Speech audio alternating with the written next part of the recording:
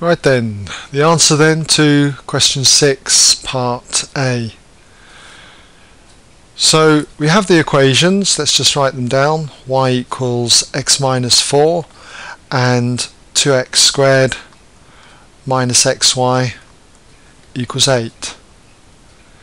Now with any set of simultaneous equations, get into the habit of numbering them, so we'll number them 1 and 2. So often people do things and expect the examiners just to understand what you're doing. So by numbering them, we can relate to the equations. Okay, so we've got to eliminate y from these equations.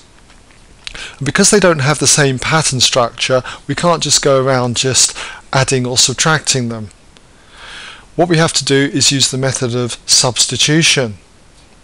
Well, this is quite an easy one actually because we've got in number one we've got y equals some function of x, x minus 4. So we can immediately substitute wherever there's a y, x minus 4 in equation 2. Okay, so don't just do it, do tell the examiners what you're doing. Okay, so just say for instance sub, for short, for substitute, sub number 1 into 2. Okay, just enough to be able to give some idea what's going on. Okay, so if we do that, we therefore have 2x squared minus x. Now instead of the y, we've got x minus 4. There's a couple of terms there, so make sure you have them in brackets. Okay, so x times what would have been y, which is now x minus 4 and this equals 8 so I put equals 8 on the end. Okay so we've now just got to expand this. Keep an eye on what we've got to show.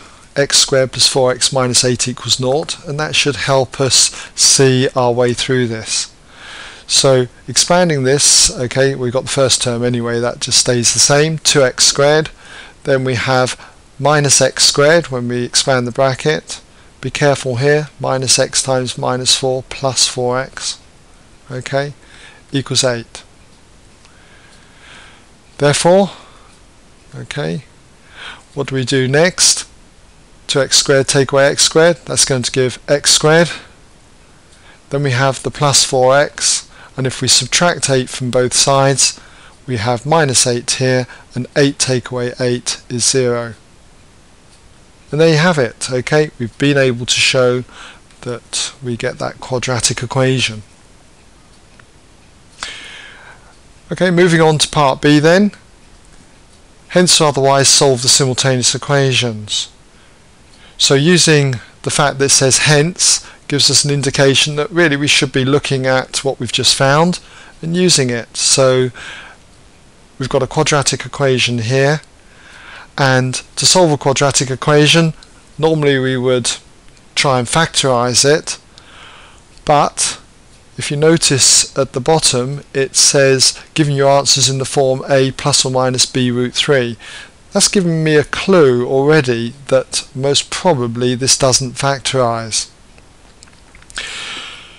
so what I'm going to uh, do, just glance over that. Now I can see it doesn't factorize. So what I'm going to do is use the quadratic formula. Hopefully you're familiar with the quadratic formula. Just remind you again over here. Whoops, what's that doing? Okay, here we go.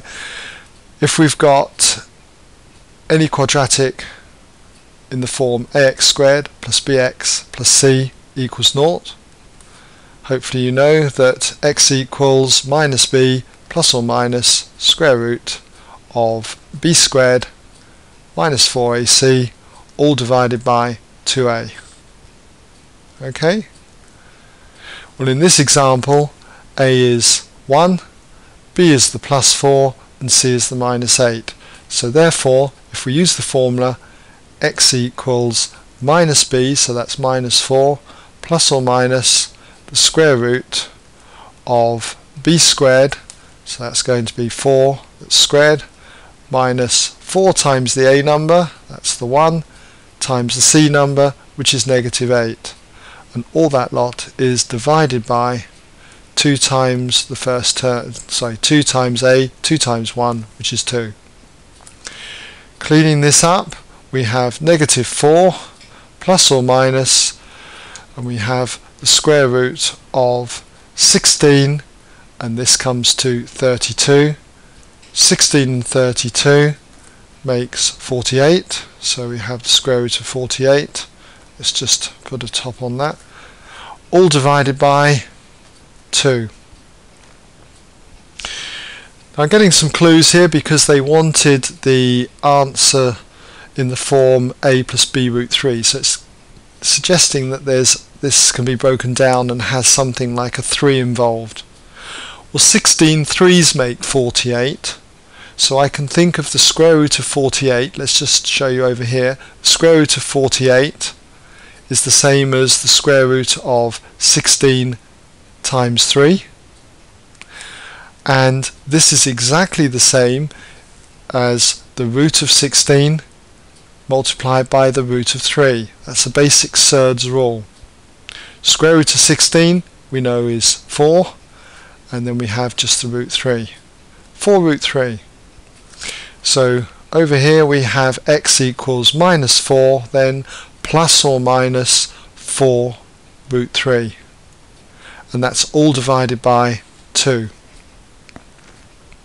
We have two terms on the top each of these two terms are divisible by the 2, so we can divide the top by 2. That gives us the answer minus 2 plus or minus 2 root 3. So there's the couple of values for x. Okay, let's just move that up a little bit further, give us a bit more room. Now because it's a simultaneous equation we want to find out what the corresponding values of y are. So let's say that when x equals the minus 2 we'll take the plus option here plus 2 root 3. What we need to do is find y and what we can do is substitute this value back into the first equation. Do you remember the equation number 1 was y equals x minus 4. So I'll substitute that back into there. Let's just bring that down a bit. So when x equals that, sub in 1 and we end up with y equals um, x minus 4. So x is minus 2 plus 2 root 3 and then we subtract 4. And what we get is minus 2 minus 4 which is minus 6 plus 2 root 3 okay? Going to do exactly the same again for the other value of x. So when x was equal to minus 2 minus 2 root 3 again sub this into 1 and we get the corresponding value for y which is y equals minus 2 minus 2 root 3, that's the x part, and then subtract the remaining 4. So what we get is equal to minus 6 minus 2 root 3. Okay, so we have then both of our solutions for the simultaneous equation. x equals minus 2 plus 2 root 3 and the corresponding value of y is minus 6 plus 2 root 3 and then minus 2 minus 2 root 3 with the corresponding value of y minus 6 minus 2 root 3. It's really quite a good idea actually to summarize your results so what I'll do is I'll just put them over here that we have x equals minus 2 plus 2 root 3 okay and y equals minus 6 plus 2 root 3 or quite separately we can have x equals minus 2 minus 2 root 3 and the corresponding value of y was minus 6 minus 2 root 3. Okay?